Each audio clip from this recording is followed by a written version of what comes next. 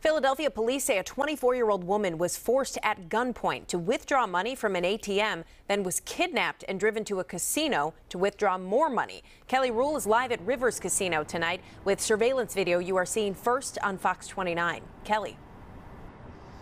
Yes, Shannon, we do have that video. And actually, before all of this happened, police say the two men robbed a 21 year old man and shot at him three times. That all happened before this 24 year old woman was abducted.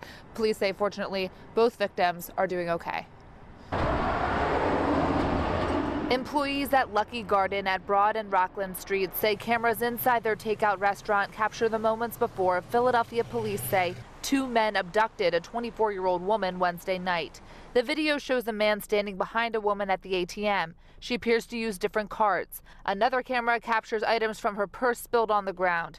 After several minutes, he appears to hurry her along and pull her by her arm out the door. Bernadette Lee works nearby. I can't believe that happened like so close to us.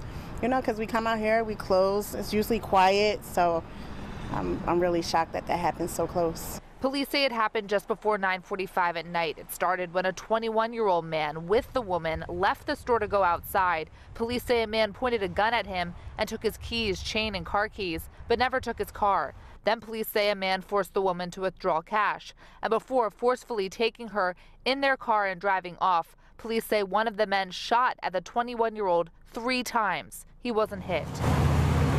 Moments later, police say they got a call that a woman, the 24 year old victim, was attempting to withdraw $3,000 from Rivers Casino. Police say one man was with her. The other, in the casino parking lot, placed a gun in the wheel well of a parked Jeep. When casino security approached, police say they got away. Don't understand that at all. To have it so close, like just feet away.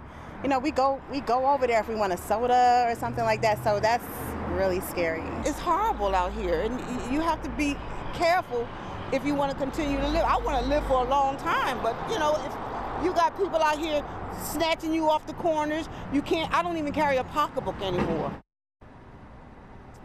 Now, police could not say if the two victims knew these two men behind this accused uh, abduction and shooting, and they have not located them yet, but police did say they found that gun in the casino parking lot. Sheena? Kelly Rule live in Fishtown. Thank you, Kelly.